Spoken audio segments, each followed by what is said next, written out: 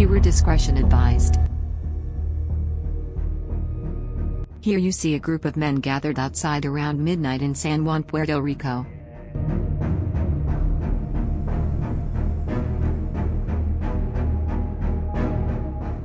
Here you see the shooters approaching the men from the top left of your screen.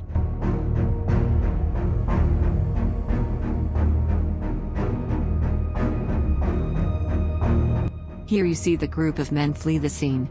Except for one man, who decides to take cover and shoot back.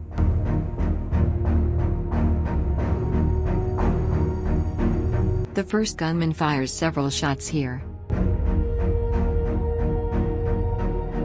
The defender begins returning fire. He hits the roof of the car instead of his attacker. You see a shot hit the roof of the car.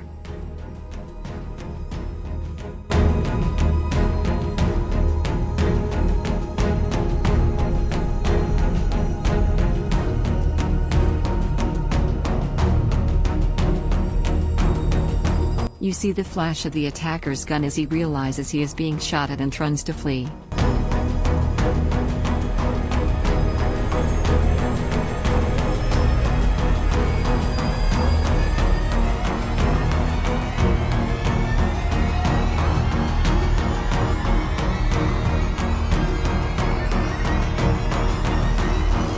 The defender chases the attacker down the street.